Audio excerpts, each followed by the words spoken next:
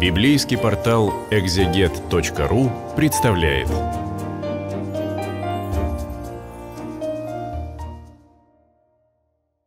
Здравствуйте, меня зовут Дмитрий Георгиевич Добыкин, и мы с вами на библейском портале Экзегет. Мы с вами сегодня начинаем изучать книгу Иудифи, но перед тем, как мы будем читать текст этой книги, сначала мы должны коснуться вопросов исагогики, то есть введения в эту книгу. А, зачем? А, чтобы лучше понимать ее. А, в этой книге действительно есть много вопросов, загадок, непонятностей, и поэтому, разобравшись с названием книги, с авторством этой книги, с датировкой этой книги, мы лучше поймем, что в ней написано. Ну, начнем. Начнем-ка, естественно, с названия. Книга Иудифь. Правильнее было бы, конечно, перевести книга о Иудифе.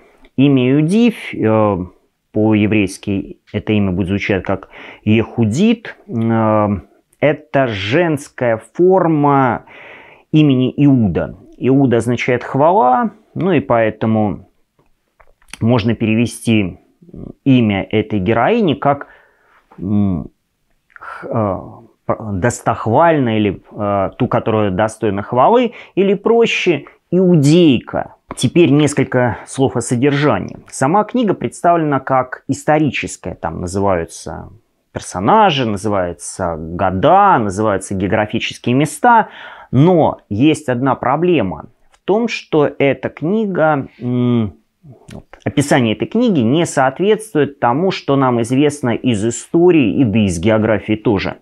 Вот, и какие сложности в этой книге. Например, э, царь Навуходоносор назван царем Ассирии, но на самом деле Навуходоносор не был царем Ассирии, он был царем Вавилонии, и более того, тогда, когда он жил, Ассирия уже была давным-давно завоевана и уничтожена. Значит, э, там назван такой человек э, Алаферн. Об этом Алафер ничего не известно. А, названо еще одно имя – Вагой. Да, был такой человек, но жил он совершенно в другое время. Перемешаны вавилонские, греческие, персидские имена. А, вот само имя Иудив, и там есть еще один персонаж – Ахиор, переводится брат света, да, скорее такие символические имена, чем, чем реальные. Вот. Все события происходят возле города Витилуи. Такого города нет на карте Иерус... Э, Израиля, и где он находился, очень непонятно. А, более того, само слово Витилуя очень похоже на еврейское слово Бетула, которое означает «дева». Ну и э, еще что интересно, э, если это царь Новохудоносор, то это шестой век, ну, шестой век. И тогда в Израиле был царь. Здесь он не упоминается. Есть, однако, первый священник. То есть это скорее время, которое было уже после плена. И таких э, вопросов очень много. Что, э, что это? Э, существует три точки зрения на то, что собой представляет эта книга. Значит, первая, первая точка зрения, что это историческое повествование. Тут так оно и было. Второе, вторая точка зрения, это просто поэтическая повесть, такая притча. То есть никаких реальных событий. Ну и третье, э, в этой книге есть историческая основа, но эта основа была как раз поэтически переработана. Те, кто считает, что эта книга представляет собой реальную историю, они обычно говорят так, что все было нормально, но потом были переписчики, они переписывали эту книгу, перепутали детали, перепутали имена, э, и получилось то, что получилось. Однако вначале там все было нормально. Вот. И, соответственно, царь Новоходоносор этот, э, там, носил другое имя, но потом переписали, и все все было изменено. Вот. Э, другие исследователи считают, что это просто поэтическая повесть, и она не имеет никакого отношения к реальности. И, соответственно, все имена просто являются символами. Ну, однако, наиболее плодотворна все-таки третья точка зрения, что в основе этой э, книги лежит реальная история, но она затем была переработана. Э, реальные персонажи получили другие имена, реальные города были изменены, и получилась э, такое, такая книга-загадка. Тот, кто все понимает, он читает, он сразу переводит имя или географическое название в те названия, которые были э, правильными, и тогда ему становится все ясно, что в этой книге. И есть несколько попыток определить, кто же такой Навуходоносор, который э, воюет с э, евреями, или точнее он посылает своего военачальника Алаферна воевать с евреями. Ну и значит, предполагалось несколько восточных царей, но чаще всего считается, что это был гонитель иудеев, которого звали Антиох IV Епифон. Жил он во втором веке, во втором веке он и умер, и его гонения спровоцировали восстание Маковеев. Ну и, соответственно, э, это, эти события проходили во времена Маковеев. Это середина, вторая половина э, второго века до Рождества Христова. Ну и попытки есть э, определить, кто такой Алаферн или кто такая Иудивь. Но вот с Алаферном еще что-то получается. Предполагают, что это Никанор был – ну, это тоже под вопросом, а вот кто была Иудив, совсем неизвестно. А, были знаменитые женщины в те времена, но сложно все-таки составить такую параллель между Иудифью и этими женщинами. Почему в этой книге вот такое смешение? Здесь нужно вспомнить, что книга Иудиф, она является неканонической, то есть она не входит канон, который признают иудеи и признают многие христиане.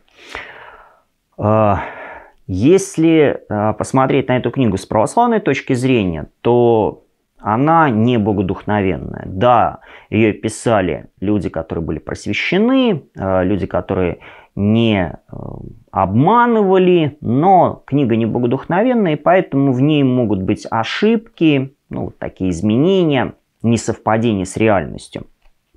Однако, а, если мы обратимся к истории церкви, то многие авторы, которые толковали эту книгу, обычно брали из нее не историю, а учение или наставление в нравственности а, и показывали, как Бог действует через слабое. То есть, как сила показывается в слабости. Следующий вопрос – это вопрос об авторстве. Кто написал эту книгу? Неизвестно. Название книги, книга Иудиф, это, повторяю, это книга об Иудифе, а не то, что она, она написала. Э, то, что книга анонимна, вполне естественно. В древности многие книги писались анонимно.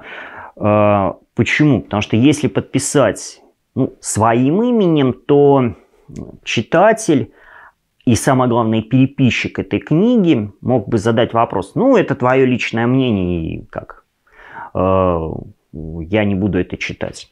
Вот. Поэтому вот такая анонимность или м, приписывание книги какой-то известному персонажу, наоборот, подчеркивал ее объективность, а не субъективность. Значит, теперь про время написания. Время, ну и, пожалуй, место написания. Значит, Э, существует три версии. Значит, первая версия. Э, эта книга была написана очевидцем событий, то есть во времена Навуходоносора, соответственно, в шестом веке. Естественно, сразу же э, сомнения. Ну, почему такое количество ошибок, э, несовпадений, несоответствий? Вот. И если бы человек писал и писал, находясь в Палестине, то он бы точно бы указывал географические места, э, время, да и людей, события. Вторая, э, вторая версия, что книга была написана в диаспоре, то есть в рассеянии иудеев, во втором веке, во времена восстания Маковеев. Ну, то есть при середине как раз второго века до Рождества Христова. Почему мнение о диаспоре? Э, потому что человек, который писал, возможно, просто не знал географию Палестины и более далеких мест туда, там, на северо-восток. И поэтому он мог ошибаться, там, неправильно определяя расстояние. Ну и третья версия, что эта книга была написана после э, Маковейских войн, когда все было нормально, и тоже в диаспоре. Ну и как бы какая, почему так объясняют, что вот более позднее время? Ну, понятно, что э, когда идет война, не до книг. Поэтому книга могла быть написана, когда война уже закончилась. А война закончилась э, после 160-х годов, э, ну, естественно, до Рождества Христова. На каком языке эта книга была написана? Вот э, возможно, что она была написана либо на еврейском, либо на арамейском языке. Но до нас дошел только греческий оригинал. И поэтому как бы, исследователи обсуждают, была ли она написана на еврейском, на арамейском или сразу на греческом. Блаженный Иероним Стридонский, который переводил Библию с еврейского и греческого языка на латинский, говорил, что он видел еврейский подлинник, и более того, он к нему обращался. Вот. А, но этот подлинник до нас не дошел. Все, что мы имеем, греческий текст, при этом есть несколько вариантов этого текста, которые немножечко между собой различаются. Э, латинский текст тоже имеет разные варианты и тоже между собой различается. Вот.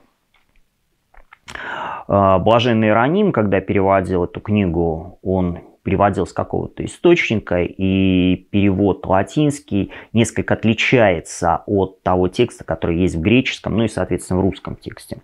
А, наш русский перевод сделан с греческого, то есть он сделан с перевода э, септуагинты, а, перевод 19 века, перевод достаточно качественный э, и каких-то особых разночтений с э, другими вариантами текста особо нет. Что еще интересно про эту книгу можно рассказать?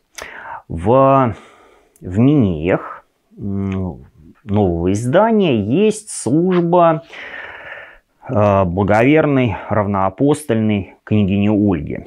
Это 11 июля. И вот э, в, в этой службе есть премии и эти премии как раз взяты из книги Иудивь. Что самое интересное, до революции там не было никаких премий, и они появились вот в 20 веке, можно сказать, совсем-совсем недавно. Вот такая книга.